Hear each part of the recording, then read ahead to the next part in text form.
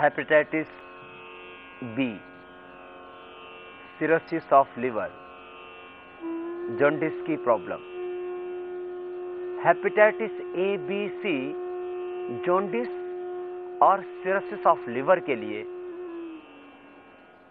प्राणायाम अद्भुत लाभ करता है। प्राणायाम के साथ साथ में प्रकृति से जुड़े हुए उपचारों से भी व्यक्ति को एक नई ज़िंदगी मिलती है। माने, जो किसी दवा से संभव नहीं, वो प्रकृति की छोटी छोटी जड़ी बूटियों से संभव हो जाता है। फ़र्स्ट टाइम जब हम, हमने हेपेटाइटिस बी को ठीक किया, तब हमें भी एक सुखद आश्चर्य हो रहा था और विश्वास नहीं हो रहा था कि इस देश की जड़ी बूटियों में इतनी ताकत है। फ़र्स्ट पेशेंट संयोगवश एलोपैथी के एक सर्जन ही थे, जिनके ऊपर हमने प्रयोग किए। जड़ी बूटियों के। क्योंकि उनकी ज़िंदगी और मौत में फासला बहुत कम था। जब हमने इन जड़ी बूटियों का प्रयोग किया, तब पाया कि पहले ही दिन से पेशेंट को इंप्रूवमेंट होने लगा।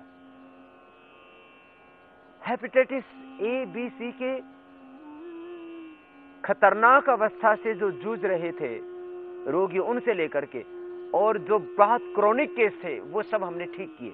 और इसलिए हम इस निष्कर्ष पर पहुँचे हैं कि यदि व्यक्ति थोड़ा सा परहेज करे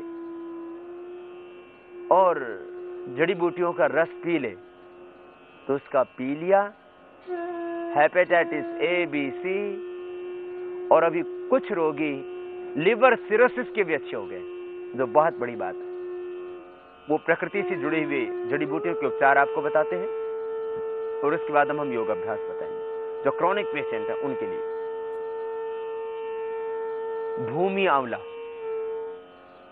पुनर्नवा, और मकोय इन तीनों का प्रयोग हेपेटाइटिस ए बी सी और सिरोसिस ऑफ़ लिवर के लिए बहुत ज़बरदस्त फ़ायदा करता है।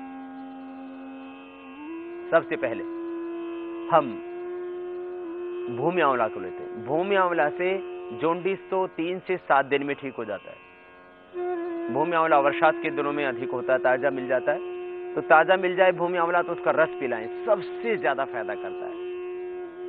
इससे हेमोग्लोबिन भी बढ़ता है। इससे लीवर की तमाम समस्याएँ दूर होती हैं। एसजीओटी एसजीपीटी एकदम नॉर्मल आने लगता है। बहुत फास्ट, बहुत जल्दी।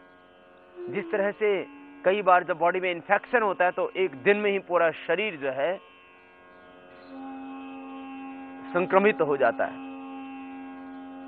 इसी तरह से एक दिन में ही जड़ी बूटी से कई बार आश्चर्यजनक रूप से लाभ हो जाता है। भूमि आंवले का रस कूट करके 10 से 20 ग्राम आप पिला दीजिए पेशेंट को। पहले ही दिन से जोंडिस अच्छे होने लगता है। और तीन से सात दिन में तो सौ प्रतिशत जोंडिस अच्छा हो जाता है। शोनाक की छाल का रस। शोनाक की छाल का रस भी तीन से सात दिन में जोंडिस को अच्छा कर देता है। शोनाक। और इसी से ही हेपेटाइटिस इस भूमि आंवला से, इस शोनाक से हेपेटाइटिस ए बी सी तीनों ठीक होते हैं। भूमि आंवला और शोनाक के अलावा एक अद्भुत जड़ी बूटी है, जिसको संस्कृत में पुनर्नवा कहते हैं। पुनर्नवा संस्कृति में और हिंदी में साठी, गुजरात में साठोड़ी, साठी बोलो, साठोड़ी बोलो, पुनर्नवा बोलो।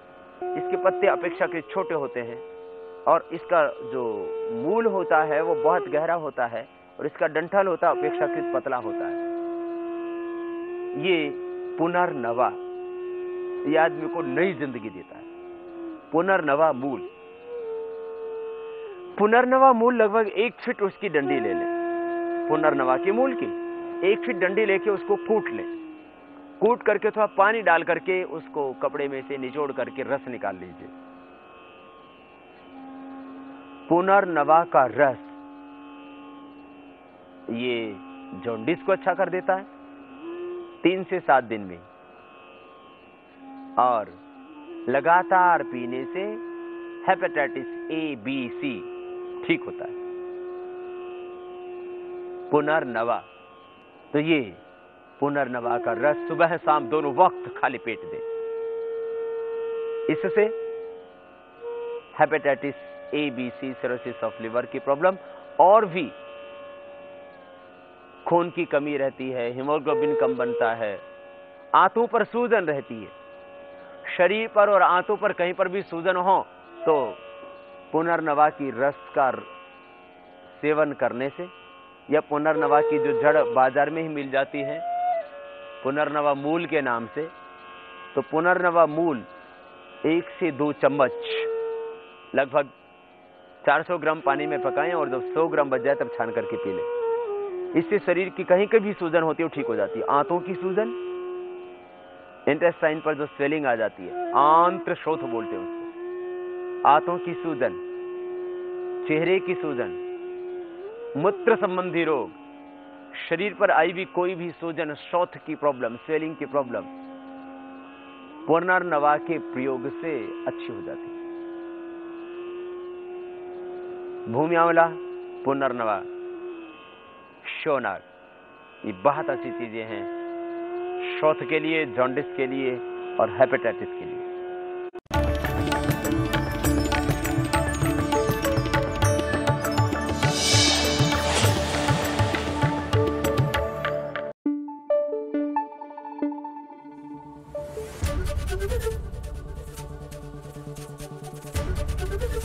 एबीपी न्यूज़ आपको रखे आगे।